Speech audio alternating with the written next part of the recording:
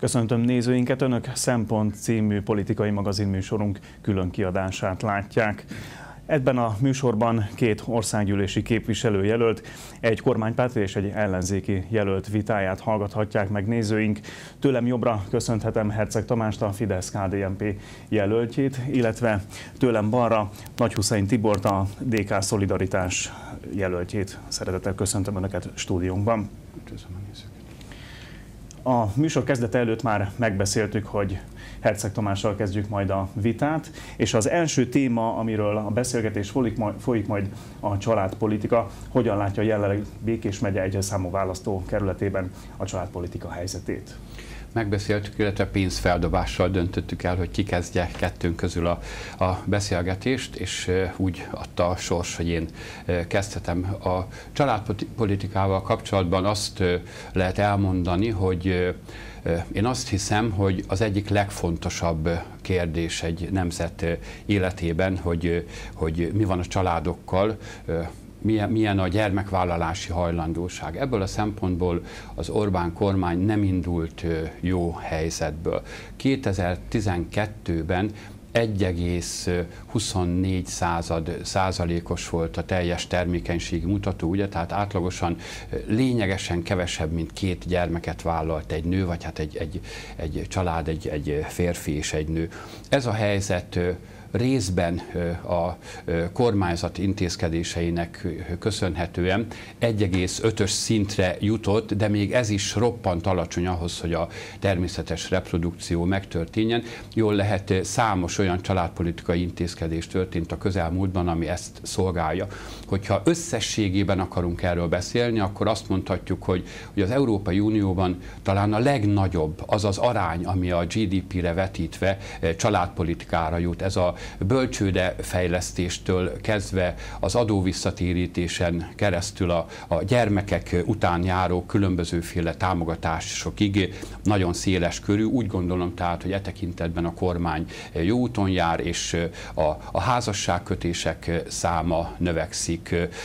A születéskor várható átlagos élettartam is növekszik, ez ugye inkább az egészségügyhöz kötődik, és nem a családpolitikához. A gyermekvállalási hajlandóság is egy picikét növekszik, növekszik, jó úton járunk, de még mindig azért messze vagyunk, mondom, attól az ideális helyzettől, hogy, hogy a természetes reprodukció megtörténhessen.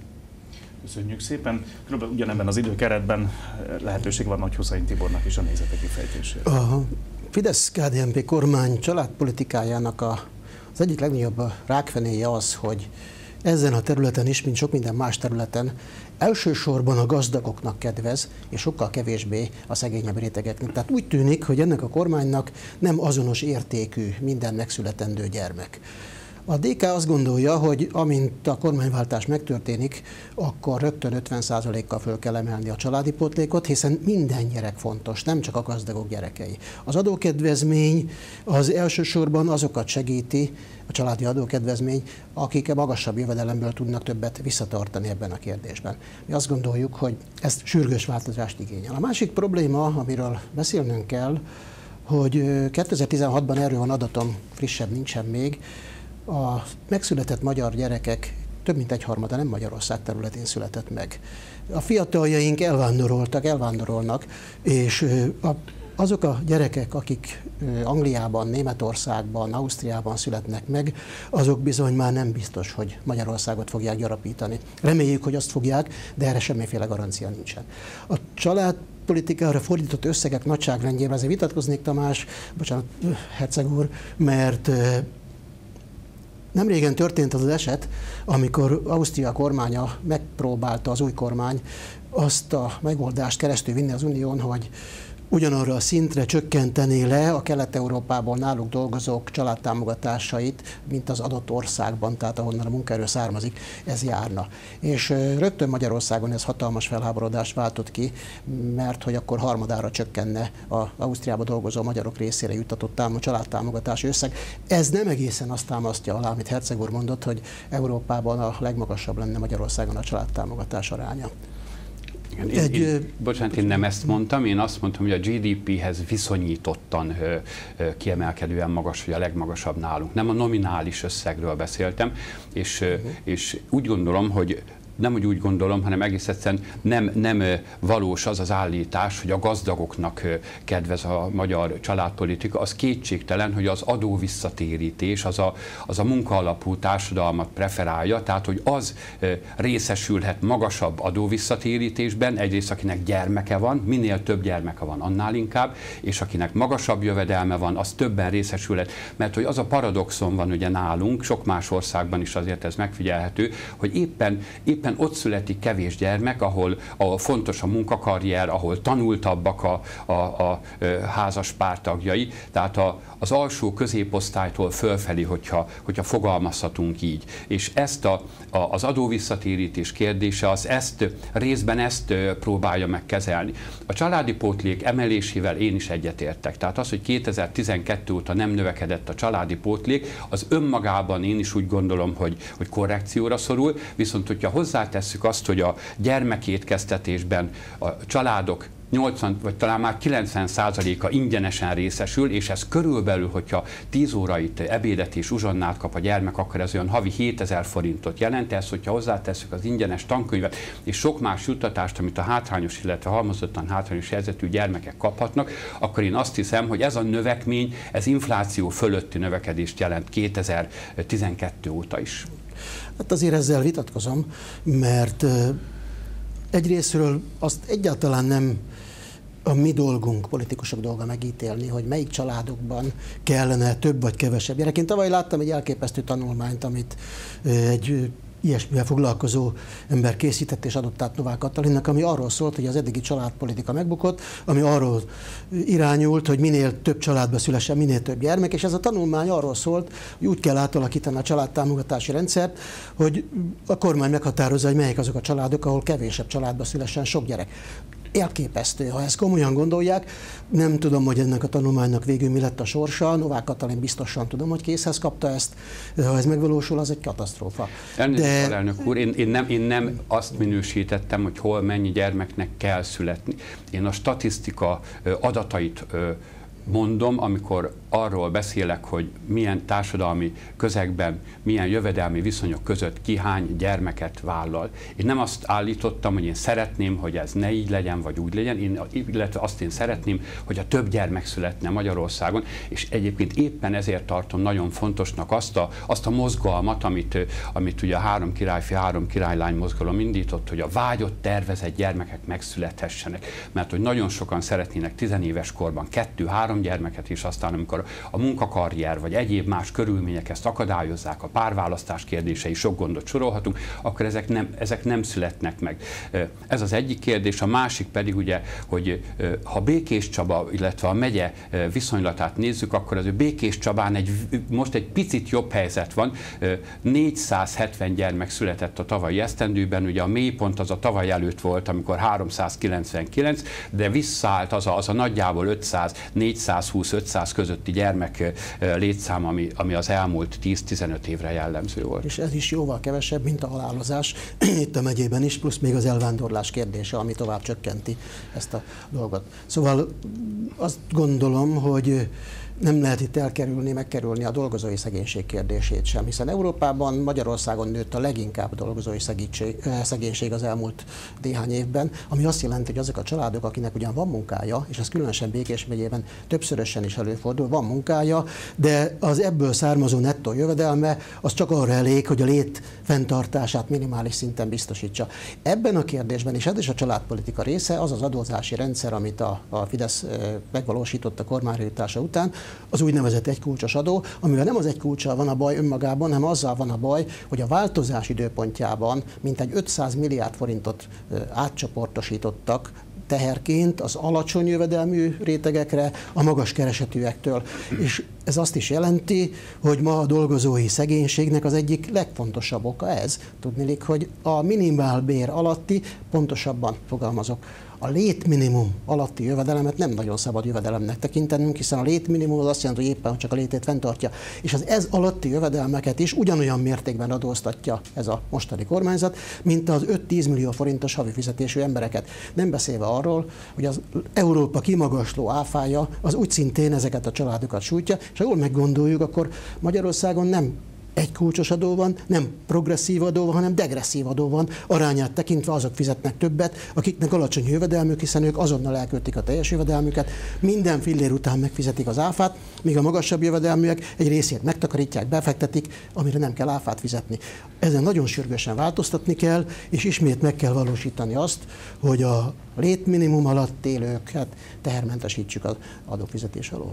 Az az érdekes ebben, hogy mielőtt egy kulcsossá vált az adórendszer, ugye azelőtt 37%-os adókulcsal adózott a, a magyar társadalom, a dolgozók ugye 80%-a. Tehát ez azt jelenti, hogy a döntő részét azoknak, akik munkajövedelemből éltek, a 37%-os adókulcs sújtotta. Most ugye 15%-os adókulcsal adózunk, és 2005-ben 50 ezer, 2004-ben 50 ezer, 2012-ben 71.500 forint volt a minimálbér, ugye hogyha dolgozói szegénységről beszélünk, akkor nyilván a legalsó fizetési kategóriákat kell megnézni, és 2010-ben 73.500-ról, aztán 2017-re 127.500 forintra növekedett, és aztán a 2008-ban újra nőtt a minimálbér, és a garantált bérminimum is, és lényegesen alacsonyabban adózik ugye a, a össztársadalmi szinten,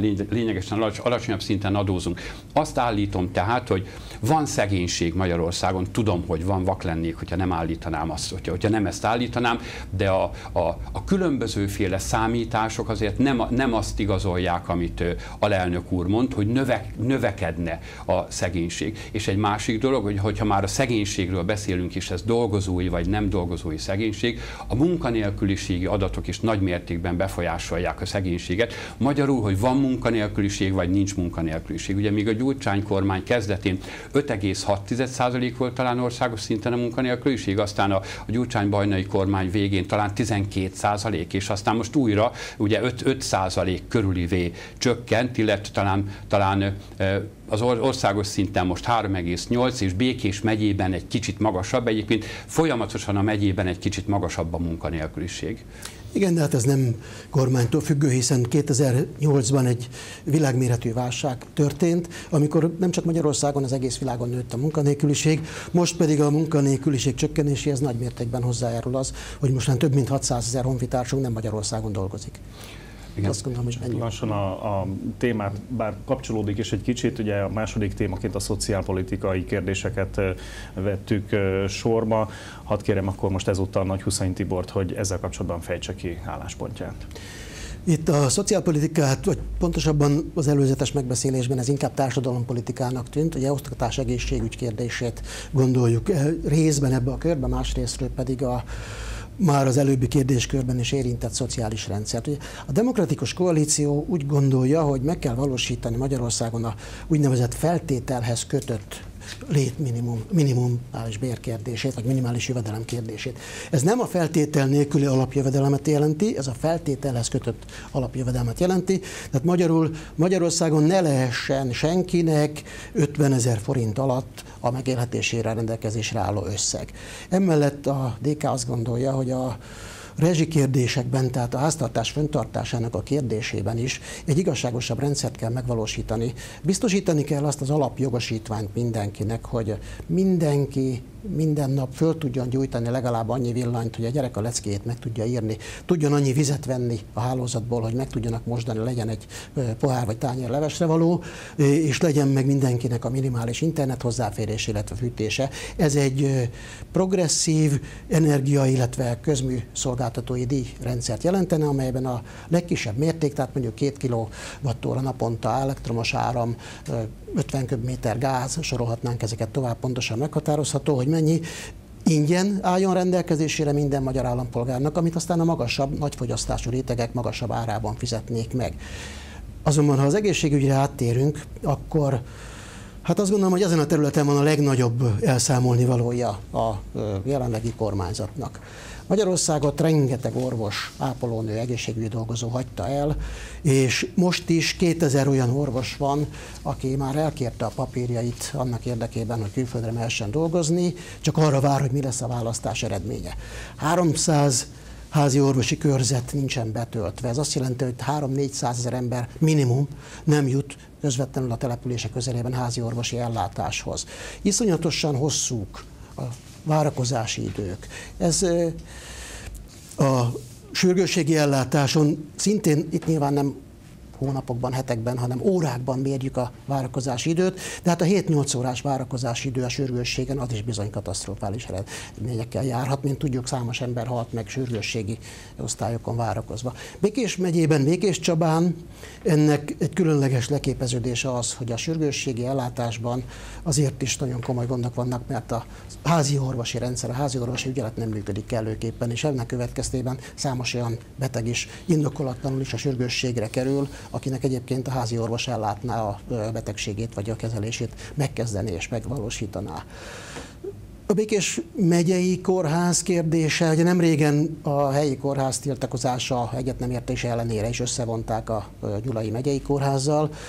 Ma ismét adóssága van a kórháznak, korábban a Pékes megyei kórháznak nem volt, most már azért ismét 3 milliárd forintos adóssággal küzdik. Ezt nem tudjuk megmondani, alaposabb vizsgálat szükséges hozzá, hogy ez a Gyulai kórház, illetve az összevonás miatt következett, vagy a Békés Csabai kórházban is bekövetkezett volna. De ezekben a területeken mindenképpen lépni kell. És nagyon közel vagyunk a román határhoz. Mint tudjuk, Romániában az elmúlt napokban lépett hatályba, amikor rendezték az egészségügyben dolgozók minimális bérét, és egy jelentős, igen jelentős béremelkedéssel járó fejlesztést hajtottak végre, vagy jogszabálymódosítást. Ez azzal jár, hogy a következő időszakban azzal sem számolhatunk, hogy a Magyarországot elhagyó orvosok helyébe Erdélyből, Romániából jönnek orvosok, sőt, számolnunk kell azzal, hogy a itt dolgozók többek között Békés Csabán is vannak, a kórházban is, esetleg vissza fognak menni alelnök úr többször is szóba hozta a beszélgetés során ugye az elvándorlás kérdését. Valóban ez egy nagyon súlyos probléma, ez, ez, ne, ez nem kérdés. Azt azért tudjuk, hogy amikor az Európai Unióban Magyarország belépett, akkor egy hat éves moratórium volt a tekintetben, hogy kinyílnak az Európai Unió kapuji, és minden munkavállaló szabadon áramolhat, vagy nem. Ugye 2010-től van erre lehetőség, tehát egész egyszerűen éppen az Orbán kormány hatalomra kerülése óta nyíltak szélesre ezek a kapuk, amik ugye a munkavállalók előtt lehetőséget biztosítanak arra, hogy, hogy az Európai Unió országaiban dolgozzanak. Ez az egyik.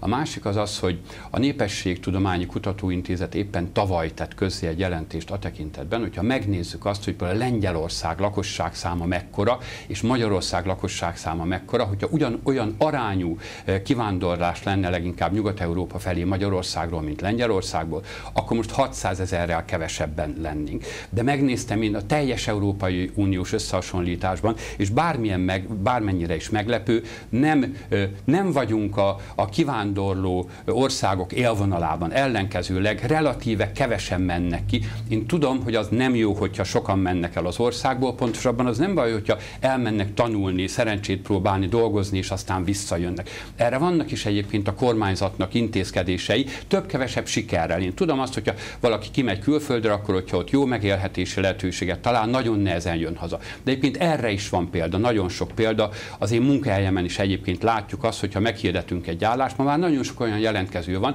aki valahonnan Európából jött haza, és gondolja azt, hogy inkább itthon, itthon szeretne élni.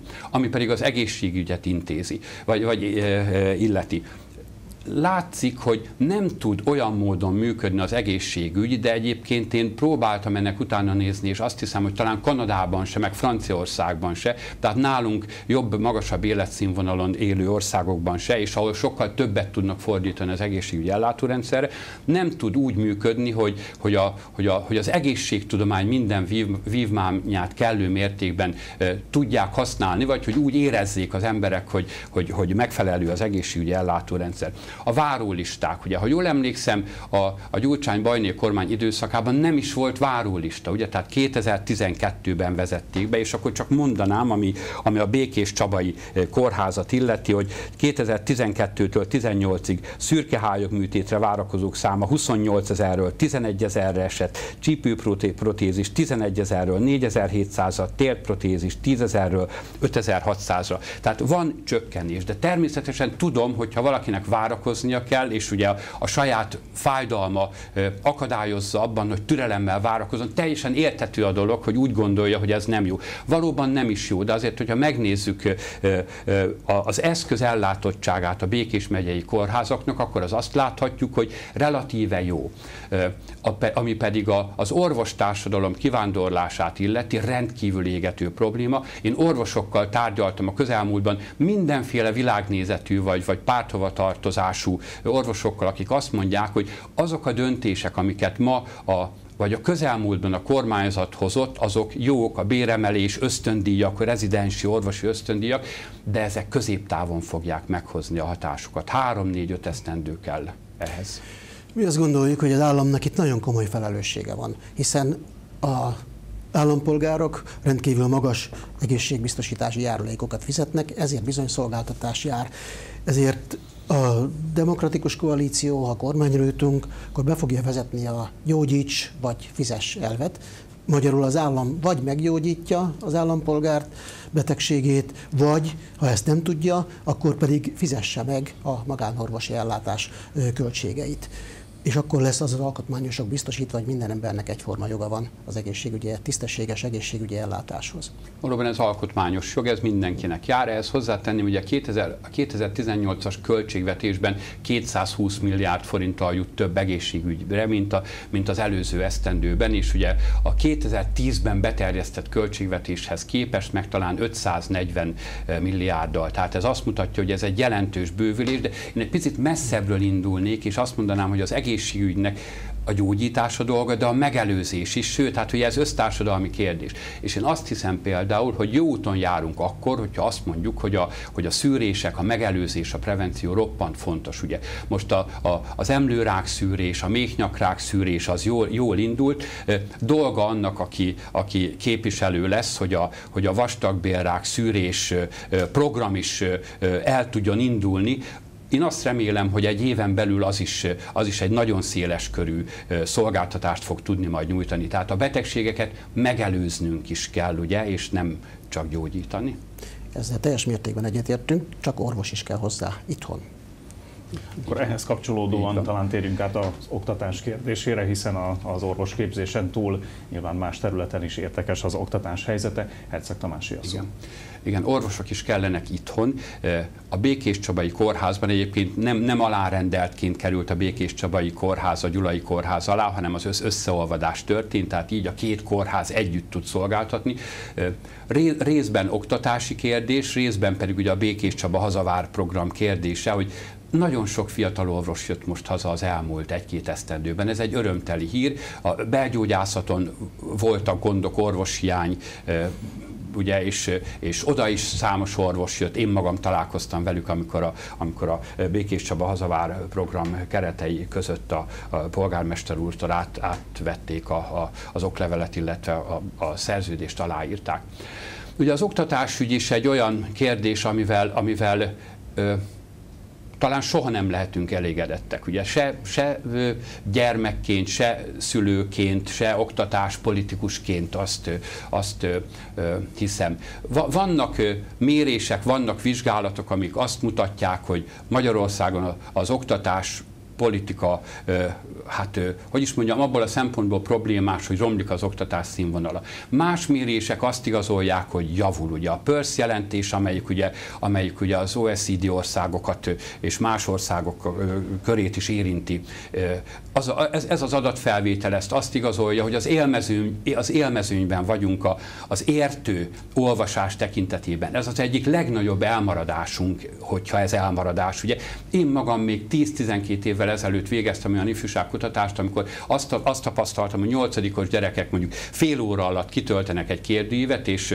akkor szakmunkás tanuló gyermekek pedig egy óra alatt a feléig jutnak el. Tehát aki nem tudja értelmezni azt, amit elolvas, akkor nyilván nem tud, nem tud boldogulni egy használatutasítással se, egy, egy, egy bármilyen egyszerű szöveg megírásával. Nos, tehát vannak olyan mutatók pedig, vagy vannak olyan mérések, amik azt igazolják, hogy az oktatásügy ilyen szempontból nem, nem, nem, nem áll túl jól. A, a most az a rendszer, ami, ami az utóbbi években kialakult, intézményvezetők, pedagógusok azt mondják, a pedagógus életpálya modellel, azokkal a juttatásokkal, amik, amik a pedagógus társadalmat most érintik. Megint nem azt mondom, hogy ez rendben van, nem azt állítom, hogy, hogy, hogy megfelelő bérezés van, de a megfelelő bérezés irányába hát, mutató döntések vannak, és hogyha oktatásügyről beszélünk, akkor mindenképpen beszéljünk ne csak az alapfokú oktatásról, a, a Békés Csabai szakképzés szakképzési centrum nagyon sikeres intézményként működik.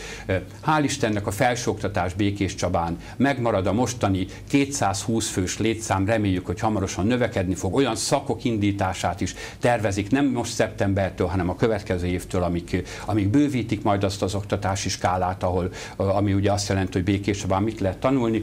Tehát ha Békés Csabára vagy a választókerületre gondolunk, akkor azt hiszem, hogy, hogy az oktatásügy szempontjából nem állunk rosszul. Én azt gondolom, hogy az oktatás a jövő záloga. Igazából ezen áll vagy bukik az, hogy a jövő Magyarországa hogyan marad meg, és miként fog beilleszkedni a világba, ebbe a gyorsuló fejlődésbe. És ebből a szempontból azok a reformok vagy változtatások, amit ez a kormány végrehajtott, nagyon rossz irányba mutatnak. Ugye kiindul abból, hogy a munka alapú társadalmat akarjuk csinálni, mi erre azt mondjuk, hogy mi meg tudás alapú társadalmat szeretnénk csinálni. A DK azt gondolja, hogy az oktatás az nem egy kormánynak, nem egy pártnak, vagy egy négy éves ciklusnak az ügye. Az oktatás az az ország oktatás ügye, és ebben a tekintetben nem volna szabad az oktatás kérdését kitenni annak, hogy a négy éves ciklusonként állandóan új és új reformok, meg változtatások kerülnek bevezetésre. Európa azon országai, amelyek meg tudták azt csinálni, hogy a politikai erők nézetektől függetlenül egyet tudtak érteni abban, hogy milyen oktatásra van szükség annak érdekében, hogy az ország hosszú távon ne csak fejlődőképes, hanem versenyképes legyen Finnország, Izland, sorolhatnánk a példákat. Ők meg tudtak abban egyezni, hogy 20-30 éves oktatási programokat fektettek le. Magyarországon ez nincs. Az elmúlt év őszén az ellenzék összehozott egy olyan tárgyalás sorozatot, aminek a végén aláírtak egy nemzeti minimumot oktatásügyben is és egészségügyben is. A Fidesz minden kérés ellenére ezekben nem vett részt. Mi azt gondoljuk, hogy ez, ez nem járható út. Az, amit az általános iskolákban csinálunk, hogy az általános iskolai képzésben egy szolgalelkű mag, legfőjebb lexikális tudásra építő képzés folyik, ahelyett, hogy egy gondolkodni képes, szabad gondolkodásra, a világra kitekintő fiatalokat nevelnénk belőlük, akik aztán a középfokú oktatásban jó szakemberek, vagy gimnáziumot végezvén nagyon jó diplomás emberek lesznek majd belőlük.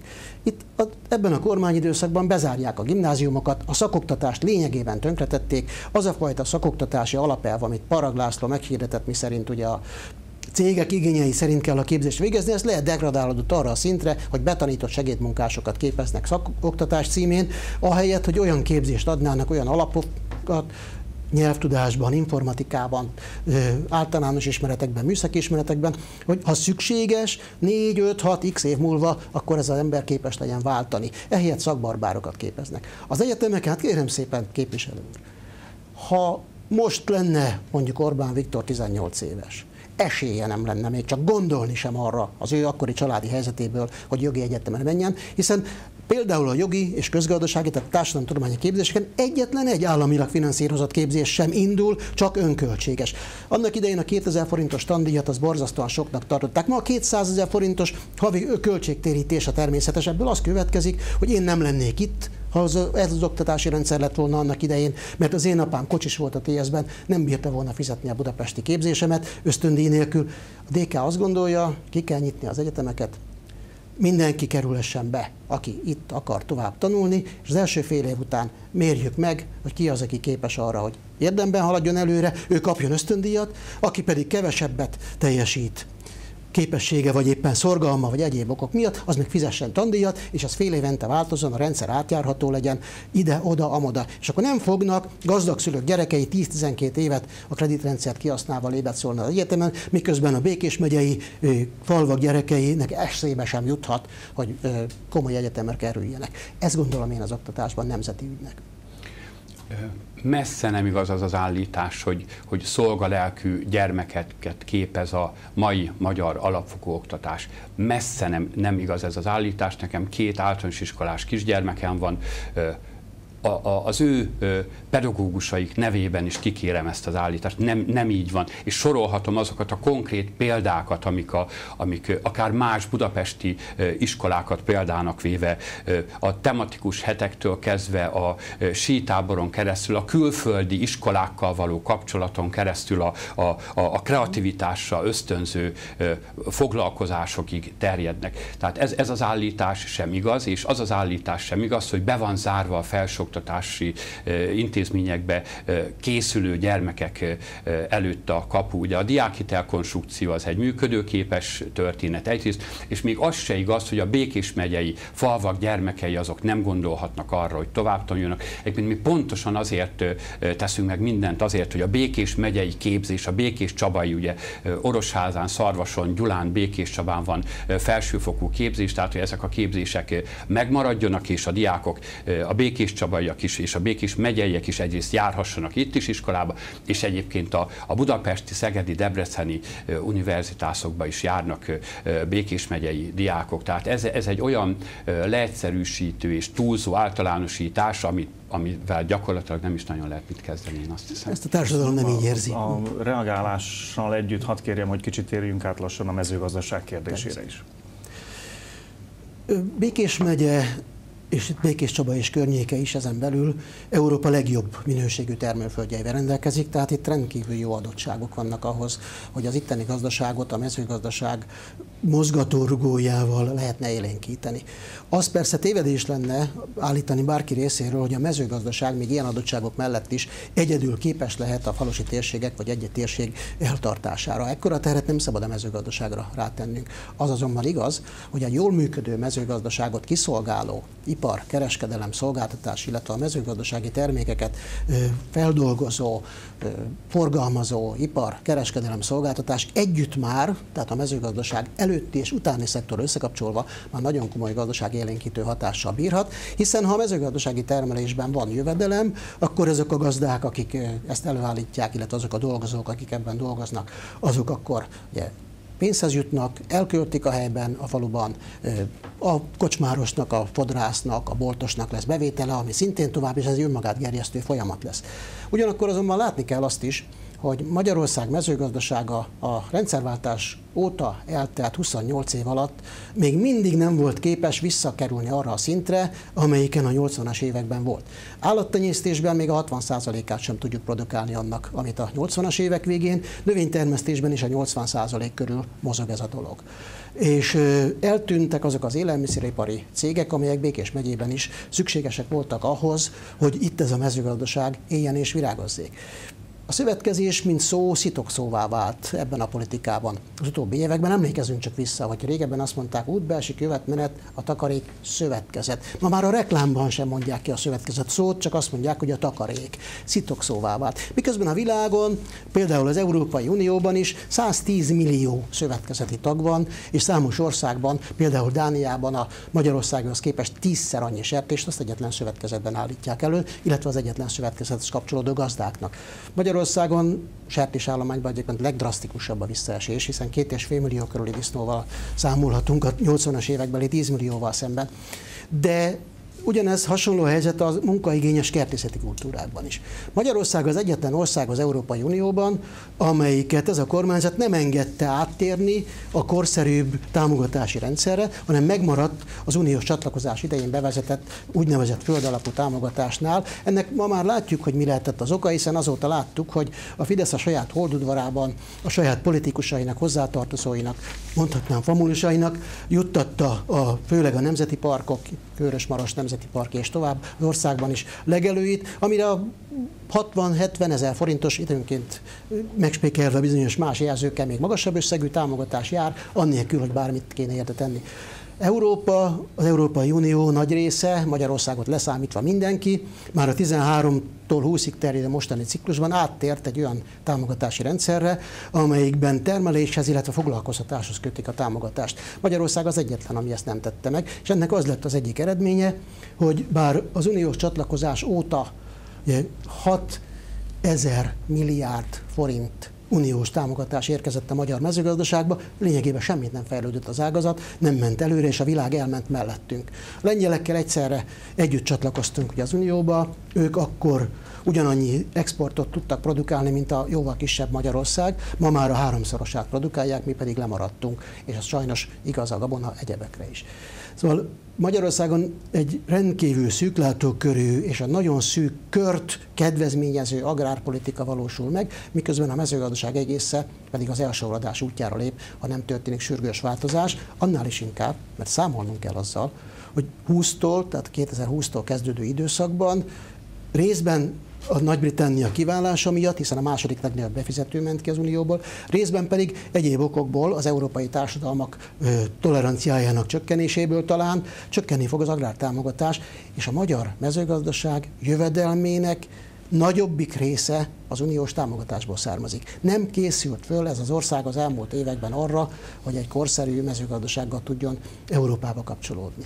Ez Békés megyére levetítve ez azt jelenteni, hogy borzasztó nagy szükség lenne élelmiszerfeldolgozó üzemekre, elsősorban a húsipart fellendítő, illetve a konzerv, zöldségkonzervipar gyümölcsöt termelő ágazatok fejlesztéséhez, mert nem a gabona és a kukoric termelésben lehet eltartani nagy tömegű népességet, hanem kézi munkaigényes kertészeti állattenyésztési kultúrákkal.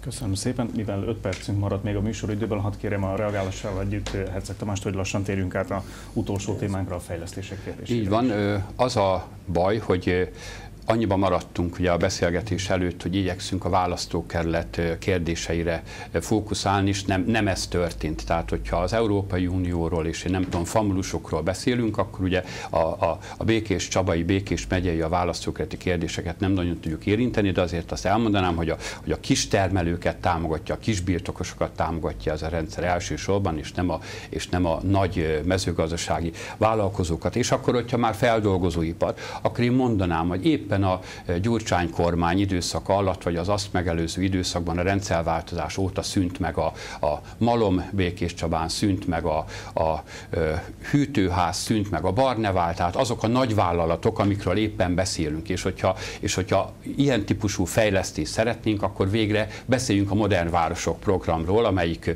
most úgy nagyjából 90 milliárdos fejlesztést irányoz elő Békés Csabára, és ugye, hogyha azt mondjuk, hogy ennek a városnak fejlődni, fejlődnie kell ahhoz, hogy erős megye legyen, akkor a Modern Városok programról mindenképpen beszélni kell. És míg, míg az előző időszakban a, a nagyvállalatok megszűnéséről beszéltünk, akkor most említhetjük a, a Mondit, a, az Enflexilogot, a Linamárt, a Csabametált, és amelyek hatalmas állami támogatással fejlesztenek, új üzemcsarnokot hoznak létre, munkaerőt, munkaerőt vesznek föl, növelik a térség GDP-jét 70 6 milliárd forintnyi fejlesztés történt ebben az előző évben Békés megyében, ami ugye 28-29 kal több, mint az előző esztendőben, ezt ugye Szijjártó Péter külgazdasági és külügyminiszter úr is elmondta, amikor a múlt héten ide látogatott. Na tehát a modellvárosok program keretei között többek között a feldolgozó iparnak a fejlesztése is szerepel. Az másik kérdés, hogy az Európai Unió azt ugye nem engedi, hogy, hogy 70%-os Európai Uniós támogatás vagy állami támogatás mellett 30%-os önerővel dolgozzanak, vagy önerős fejlesztéssel szálljonak be ugye azok a magánvállalkozók, akik ebben a történetben szerepelnének.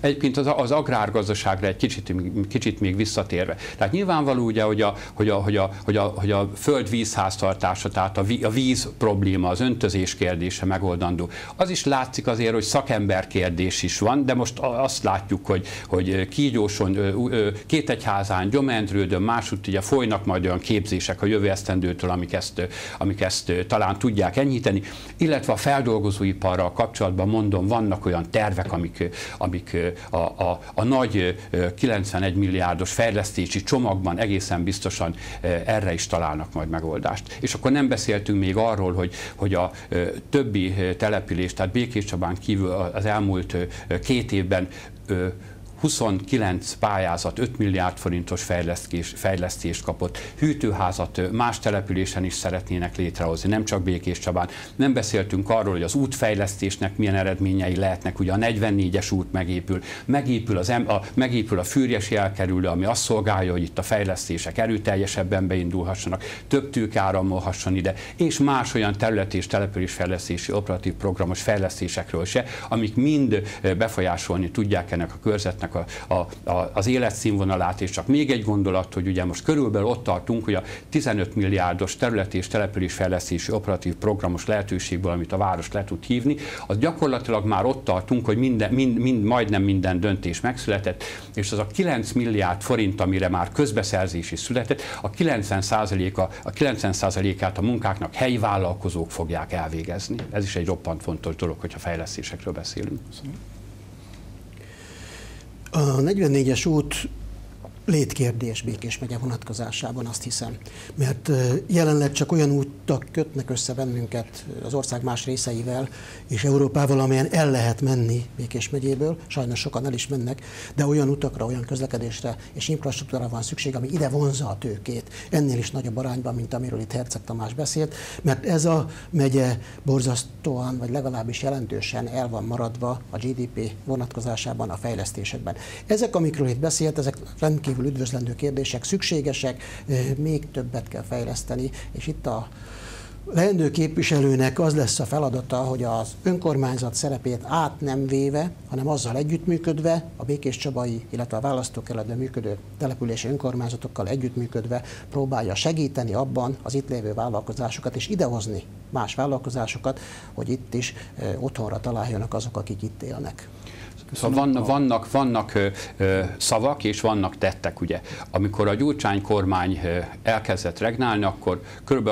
62%-a volt a GDP az, az országos aránynak Békés megyébe, aztán ez a Gyurcsány bajnai kormány végére 55%-ra csökkent, és most újra 60%-ra ment föl. Tehát az a regionális politika, amelyel megpróbálja a kormány fejleszteni Békés Csabát, Békés megyét, az úgy látszik hatékony, már csak olyan szempontból is meg tudjuk ezt állapítani, hogy hatékony vagy hatékony lehet, hogy a Modern Városok Program keretei között kétszer annyi forrás jön per fő Békés Csabára, mint az ország nyugati nagyvárosaiba vagy középvárosaiba. Ígéret szerint. Köszönöm. Egy-egy záró mondatra van még lehetőség. Először Nagy Huszán Tibornak adom a Ezen a vasárnapon a tét az, hogy Békés megyét is, meg az egész országot is sikerül-e újra a negyedik magyar köztársaság irányába visszafordítani, és a demokráciát, azt az álmot, amit 90-ben a rendszerváltáskor elképzeltünk, azt végre megvalósítani.